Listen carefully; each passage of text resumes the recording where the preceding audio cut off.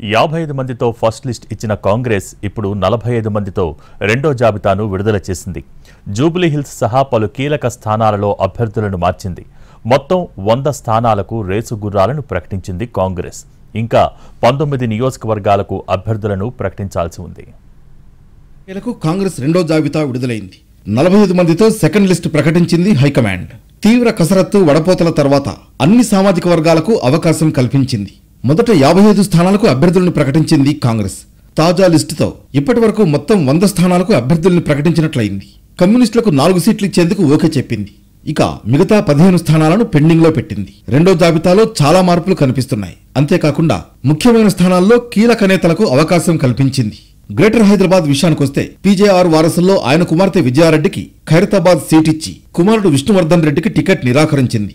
గద్దర్ వారసుల్లో కొడుకు సూర్యం బదులు కుమార్తె వెన్నెలకు సికింద్రాబాద్ కంటోన్మెంట్ కేటాయించింది.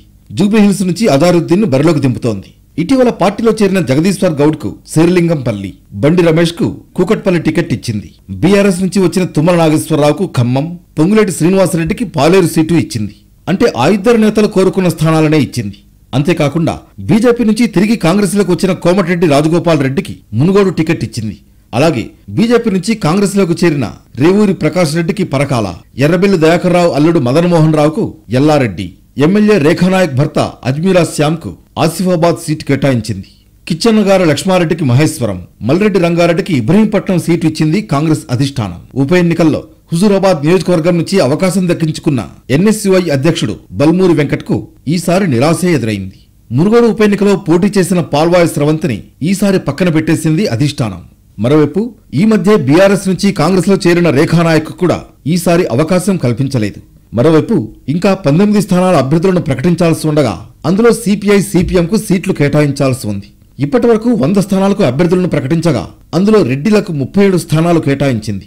ఎస్సీలకు పంతొమ్మిది ఎస్టీలకు పన్నెండు బీసీలకు పద్దెనిమిది సీట్లు ఇచ్చింది. పెండింగ్లో ఉన్న సీట్లపై Congress screening committee central election committee కసరత్తు ప్రారంభించాయి. ఆ సీట్లలో కూడా కొందరికి నిరాశే మిగిలే అవకాశం ఉందని కాంగ్రెస్ వర్గాలంటున్నాయి.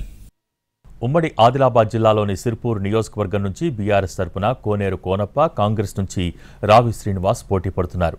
రెండు వేల పద్నాలుగులో బీఎస్పీ నుంచి గెలుపొందిన కోనప్ప టీఆర్ఎస్లో చేరారు. రెండు వేల పద్దెనిమిది ముందస్తు ఎన్నికల్లో టీఆర్ఎస్ అభ్యర్థిగా గెలుపొందారు కోనప్ప. మరోసారి అక్కడి నుంచే తన అదృష్టాన్ని పరీక్షించుకుంటున్నారు కోనప్ప.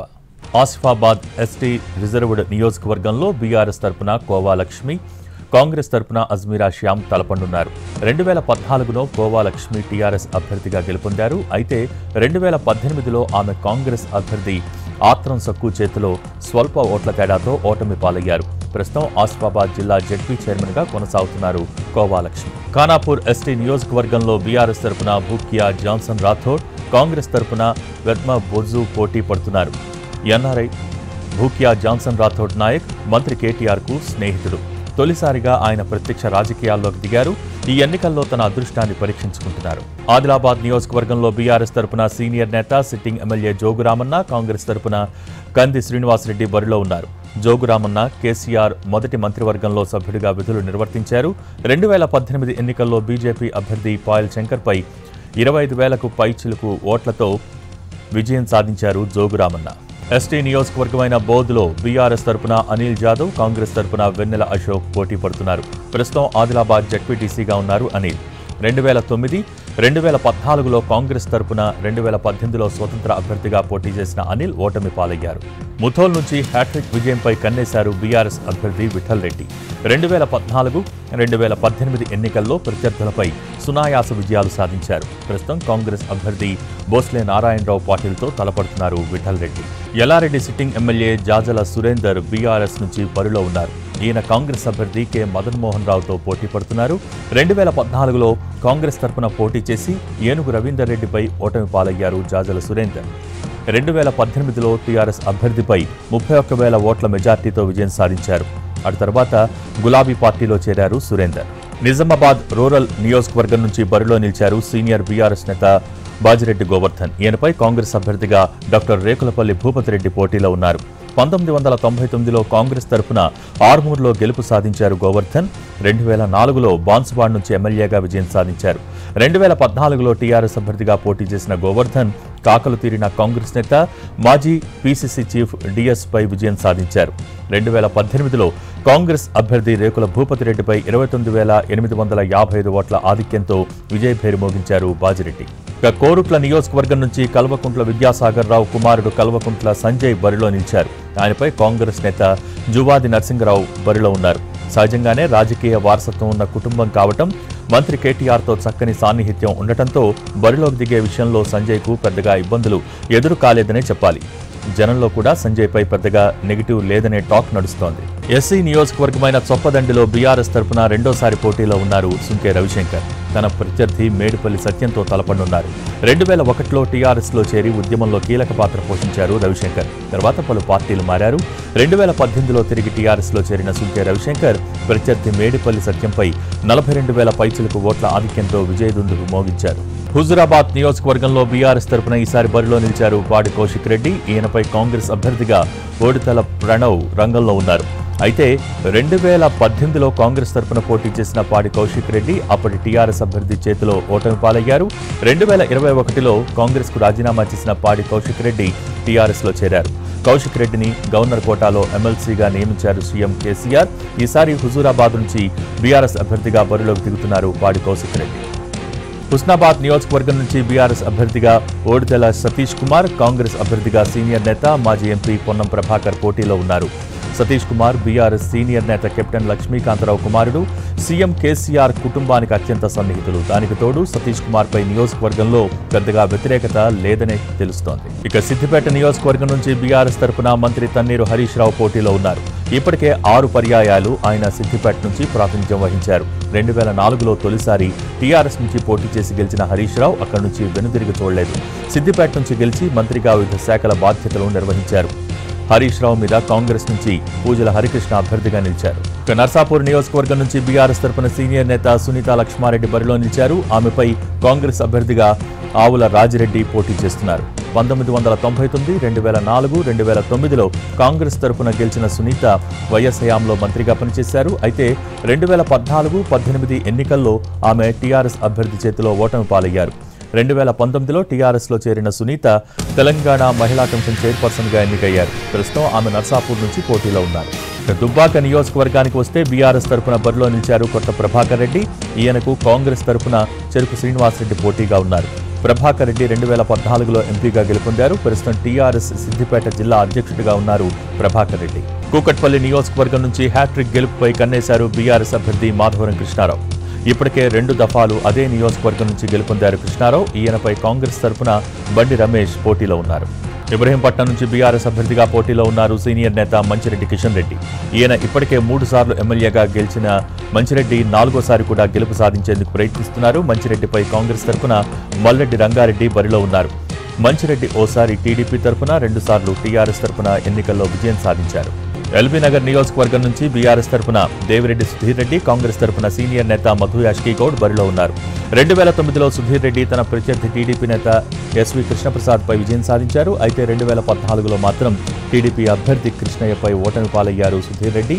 రెండు వేల పద్దెనిమిదిలో కాంగ్రెస్ అభ్యర్థిగా పోటీ చేసిన సుధీర్ రెడ్డి టీఆర్ఎస్ ఎమ్మెల్యేపై గెలుపు సాధించారు. ప్రస్తుతం బీఆర్ఎస్ తరపున పోటీలో నిలిచారు దేవిరెడ్డి సుధీర్ రెడ్డి. మహేశ్వరం నియోజకవర్గం నుంచి సీనియర్ నేత మంత్రి పొటోళ్ళ సబితా ఇంద్రారెడ్డి బీఆర్ఎస్ అభ్యర్థిగా పోటీ చేస్తున్నారు. ఈమెపై కాంగ్రెస్ తరపున పోటీలో దిగారు కిచ్చెన్నగారి లక్ష్మారెడ్డి. ఇంద్రారెడ్డి మరణం తర్వాత ఆమె రెండు వేల సంవత్సరంలో కాంగ్రెస్ తరపున చేవేళ్ళ నుంచి పోటీ చేసి విజయం సాధించారు. రెండు వేల నాలుగులోనూ విజయభేరి మోగించారు సబిత. రెండు వేల నాలుగు రెండు వేల తొమ్మిదిలో కాంగ్రెస్ సర్కార్లో మంత్రిగా బాధ్యతలు నిర్వర్తించారు సబిత. తిరిగి రెండు వేల పద్దెనిమిదిలో కాంగ్రెస్ నుంచి విజయం సాధించిన సబిత తర్వాత టీఆర్ఎస్లో చేరారు. సీఎం కేసీఆర్ సర్కార్లో మంత్రిగా పనిచేశారు సబిత. రాజేంద్రనగర్ నియోజకవర్గం నుంచి బీఆర్ఎస్ తరపున పోటీలో ఉన్నారు టి. ప్రకాష్ గౌడ్. ఆయనపై కాంగ్రెస్ తరపున కస్తూరి నరేందర్ పోటీ చేస్తున్నారు. రెండు వేల తొమ్మిది రెండు వేల పద్నాలుగులో టీడీపీ అభ్యర్థిగా గెలుపొందారు ప్రకాష్ గౌడ్. ఆ తర్వాత టీఆర్ఎస్ అభ్యర్థిగా విజయం సాధించారు. ఇప్పుడు నాలుగోసారి విజయం కోసం ప్రకాష్ గౌడ్ ప్రయత్నాలు చేస్తున్నారు. షేర్లింగంపల్లి నియోజకవర్గం నుంచి సిట్టింగ్ ఎమ్మెల్యే అరికపూడి గాంధీ మరోసారి పోటీలో నిలిచారు. ఈయనపై కాంగ్రెస్ తరపున వి. జగదీశ్వర్ గౌడ్ పోటీ చేస్తున్నారు. తొలిసారిగా టీడీపీ తరపున ఎమ్మెల్యేగా రెండు వేల పద్నాలుగులో గెలిచిన తర్వాత బీఆర్ఎస్లో చేరారు అరికపూడి గాంధీ. ప్రస్తుతం ఆయన ప్రభుత్వ వైపుగా పనిచేస్తున్నారు. తాండూరు నియోజకవర్గం నుంచి బీఆర్ఎస్ తరపున పంజుగల రోహిత్ రెడ్డి బరిలో ఉన్నారు. ఆయనపై బయ్యని మనోహర్ రెడ్డిని బరిలోకి దించింది కాంగ్రెస్. రెండు వేల పద్దెనిమిదిలో తాండూరు నుంచి పైలట్ రోహిత్ రెడ్డి విజయభేరు మోగించారు రెండు వేల పంతొమ్మిదిలో కాంగ్రెస్ వదిలి టీఆర్ఎస్లో చేరారు పైలట్ రోహిత్ రెడ్డి. ఇక అంబర్పేట్ నియోజకవర్గం నుంచి సిట్టింగ్ ఎమ్మెల్యేగా బీఆర్ఎస్ నేత కాలేరు వెంకటేష్ వ్యవహరిస్తున్నారు. రెండు వేల పద్దెనిమిదిలో అంబర్పేట్ నుంచి పోటీ చేసిన కాలేరు వెంకటేష్ నాటి బీజేపీ నేత ప్రస్తుత కేంద్ర మంత్రిపై విజయం సాధించారు. ఆయనపై కాంగ్రెస్ తరపున రోహిన్ రెడ్డి పోటీ పోటీలో ఉన్నారు. ఖైరతాబాద్ నుంచి బీఆర్ఎస్ తరపున సీనియర్ నేత దానం నాగేందర్ బల్లో నిలిచారు మోస్ట్ సీనియర్ నేతల్లో ఒకరైన దానం నాగేందర్ ప్రస్తుతం ఖైరతాబాద్ నుంచి ఎమ్మెల్యేగా ఉన్నారు. నాగేందర్పై పి. జనార్దన్ రెడ్డి కుమార్తె విజయారెడ్డి పోటీకి దిగారు. ఇప్పటికే ఐదుసార్లు ఎమ్మెల్యేగా పదవీ బాధ్యతలు నిర్వర్తించిన దానం నాగేందర్ ఆరోసారి విజయంపై కన్నేశారు. ఈయన వైఎస్ఆర్కు సన్నిహితుడు కూడా. అత్యంత ఖరీదైన నియోజకవర్గం జూబ్లీ హిల్స్ నుంచి బీఆర్ఎస్ తరపున మాగంటి గోపీనాథ్ కాంగ్రెస్ తరపున మాజీ భారత కెప్టెన్ అజరుద్దీన్ పోటీలో నిలిచారు. రెండు వేల పద్నాలుగులో టీడీపీ నుంచి విజయం సాధించిన గోపీనాథ్ తర్వాతి కాలంలో టీఆర్ఎస్లో చేరారు. రెండు వేల పద్దెనిమిదిలో టీఆర్ఎస్ తరపున ఎమ్మెల్యేగా విజయం సాధించారు. ప్రస్తుతం పీఎస్సీ సభ్యుడిగా పనిచేస్తున్నారు. ఇక సికింద్రాబాద్ కంటోన్మెంట్ నుంచి బీఆర్ఎస్ తరపున జి లాస్యానందిత పోటీ చేస్తున్నారు. ఈమె సిట్టింగ్ ఎమ్మెల్యే సాయన కుమార్తె దీంతో ఈమెకు సీఎం కేసీఆర్ టికెట్ కన్ఫర్మ్ చేశారు. ఈమెపై కాంగ్రెస్ తరపున డాక్టర్ జి వెన్నెల పోటీలో నిలిచారు. నారాయణపేట నుంచి బీఆర్ఎస్ తరపున ఎస్ రాజేందర్ రెడ్డి కాంగ్రెస్ తరపున పన్నిక చిట్టన్ రెడ్డి బరిలో ఉన్నారు. రెండు వేల పద్నాలుగులో టీడీపీ తరపున పోటీ చేసి గెలిచిన రాజేందర్ రెడ్డి తర్వాతి కాలంలో టీఆర్ఎస్లో చేరారు. రెండు వేల పద్దెనిమిదిలో టీఆర్ఎస్ అభ్యర్థిగా విజయం సాధించారు. ప్రస్తుతం నారాయణపేట బీఆర్ఎస్ జిల్లా అధ్యక్షుడిగా బాధ్యతలు నిర్వర్తిస్తున్నారు రాజేందర్ రెడ్డి. ఇక మహబూబ్ నగర్ నుంచి మరోసారి తన అదృష్టాన్ని పరీక్షించుకుంటున్నారు బీఆర్ఎస్ అభ్యర్థి శ్రీనివాస్ గౌడ్. శ్రీనివాస్ గౌడ్ ప్రత్యర్థిగా కాంగ్రెస్ నేత ఎన్ఎం శ్రీనివాస్ రెడ్డి ఉన్నారు. టీఆర్ఎస్ తరఫున రెండు వేల పద్నాలుగు రెండు వేల పద్దెనిమిది ఎన్నికల్లో విజయం సాధించారు శ్రీనివాస్ గౌడ్. కేసీఆర్ రెండో కేబినెట్లో మంత్రిగాను బాధ్యతలు నిర్వర్తించారు. ఇక జడ్చర్ల నుంచి బీఆర్ఎస్ తరపున చెర్లకోల లక్ష్మారెడ్డి కాంగ్రెస్ తరపున అనిరుద్ధ రెడ్డి పోటీ చేస్తున్నారు. వీరిద్దరి మధ్య ప్రధానంగా పోటీ ఉండే అవకాశం ఉంది. రెండు వేల నాలుగులో టీఆర్ఎస్ తరపున పోటీ చేసి గెలిచారు లక్ష్మారెడ్డి. తర్వాతి పరిణామాల్లో రెండు వేల పద్నాలుగులో మరోసారి టీఆర్ఎస్ తరపున పోటీ చేసి విజయం సాధించారు. తెలంగాణ మంత్రివర్గంలోనూ పదవి బాధ్యతలు నిర్వర్తించారు. ఇక దేవరకద్రలో మూడోసారి తన అదృష్టాన్ని పరీక్షించుకుంటున్నారు బీఆర్ఎస్ ఎమ్మెల్యే అల్లా వెంకటేశ్వర రెడ్డి. రెండు వేల పద్నాలుగు రెండు వేల పద్దెనిమిది సంవత్సరాల్లో నియోజకవర్గం నుంచి పోటీ చేసి విజయం సాధించారు. ప్రస్తుతం ఆయనకు ప్రధాన ప్రత్యర్థిగా జి. మధుసూదన్ రెడ్డి ఉన్నారు. ఇక తర్వాత నియోజకవర్గం మత్తెల్. ఇక్కడ నుంచి చిట్టం రామ్మోహన్ రెడ్డి బీఆర్ఎస్ తరపున పోటీలో ఉన్నారు. ఈయనపై కాంగ్రెస్ తన అభ్యర్థిగా నీనావత్ బాలు నాయక్ను నిలబెట్టింది. స్వతహాగా రాజకీయ వారసత్వం ఉండటం నక్సలైట్ల కాల్పుల్లో తండ్రి చిట్ట నర్సిరెడ్డి చనిపోవడంతో రెండు వేల ఐదు ఉప ఎన్నికల్లో కాంగ్రెస్ తరపున పోటీ చేసిన గెలుపొందారు రామ్మోహన్ రెడ్డి. తర్వాత రెండు వేల పద్నాలుగు రెండు వేల పద్దెనిమిది ఎన్నికల్లో విజయం సాధించారు. ఇక వనపర్తి జిల్లాలో బీఆర్ఎస్ కాంగ్రెస్ హోరాహోరీగా తలపనున్నాయి. ఇక్కడ బీఆర్ఎస్ అభ్యర్థిగా మంత్రి నిరంజన్ రెడ్డి కాంగ్రెస్ తరఫున సీనియర్ నేత జి చిన్నారెడ్డి పోటీ పడుతున్నారు. రెండు వేల పద్నాలుగులో ఎన్నికల్లో పోటీ చేసి ఓటమి పాలైన నిరంజన్ రెడ్డి రెండు వేల పద్దెనిమిదిలో విజయబావుట ఎగురవేశారు. కేసీఆర్ రెండో మంత్రివర్గంలో వ్యవసాయ ఆహార పౌర సరఫరాల మంత్రిగా బాధ్యతలు నిర్వర్తించారు నిరంజన్ రెడ్డి.